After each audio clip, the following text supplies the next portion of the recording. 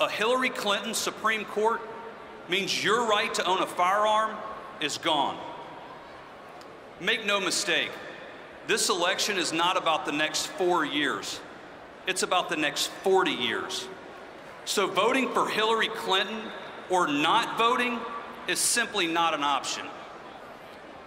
What's so outrageous is that for the rest of her life, Hillary Clinton will never even think about dialing 911.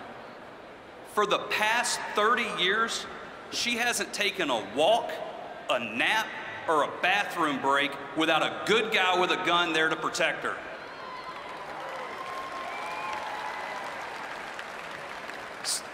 So it's easy for her to dismiss a right that she will never have to use. But for the rest of us, the choice to own a firearm is ours to make.